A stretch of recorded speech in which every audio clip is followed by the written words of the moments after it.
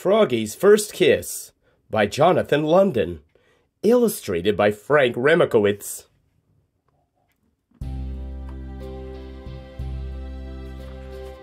Froggy's First Kiss. It was the week before Valentine's Day, and for Froggy, Valentine's Day meant candy, but it also meant love. Ooh la la! At school, Froggy's mind wandered. Froggy! cried his teacher, Ms. Witherspoon. What, what, what? Kindly pay attention, dear.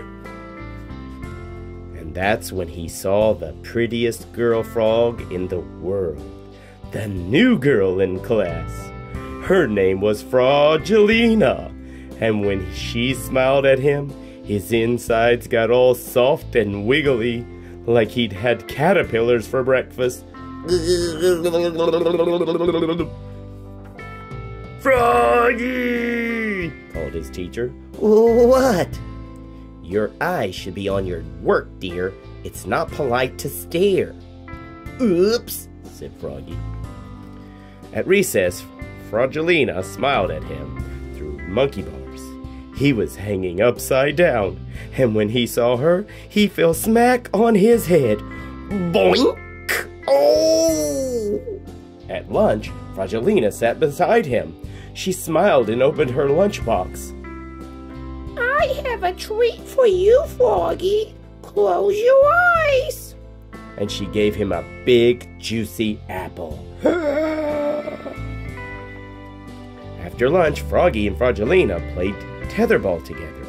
Frogilina wound up and socked the ball. And Froggy was so busy gazing into her eyes, the ball hit him in the head. Bonk! Ouch! And knocked him down.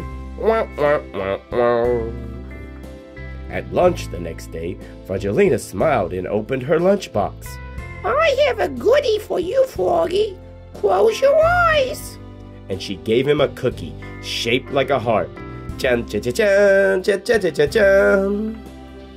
That afternoon, Froggy and his class made valentines. They cut hearts out of paper, some big, some little, some red, some pink.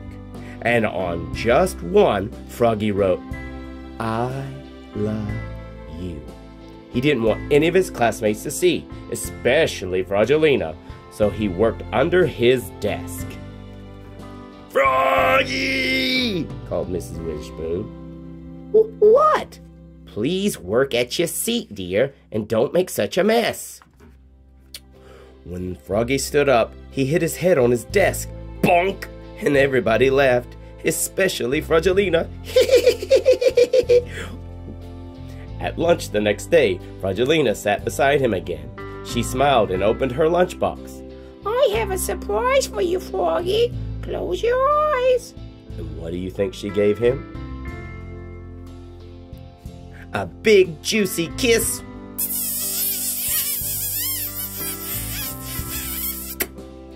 Smack on his cheek.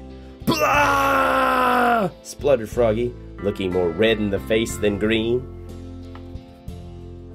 Froggy grabbed his lunchbox and flopped away. Flop, flop, flop, flop, flop, flop, flop, flop, flop, flop, flop, flop, flop. His tummy felt so weird he couldn't eat his lunch, not even dessert. On the bus home after school, everybody teased him, even Max, his best friend. They sang, Froggy has a girlfriend, Froggy has a girlfriend, nan nan boo boo. No, I don't, cried Froggy. But his heart felt heavy. Was it love? Was it hunger? Was it his backpack filled with Valentine's cards? When the bus stopped, he flopped all the way home. Flop, flop, flop, flop, flop. What did you do at school today, Froggy? asked his mother. We made Valentines, said Froggy. Did you make one for someone special? Froggy turned almost purple and flopped into his room. Flop, flop, flop, flop, flop. The next morning on Valentine's Day, Froggy served his mother breakfast in bed and said, Mom, that someone special is you. and he gave his mother the big heart with I love you. Oh, Froggy! And his mother gave Froggy a whole bunch of kisses. Candy kisses! Ha ha ha! The end.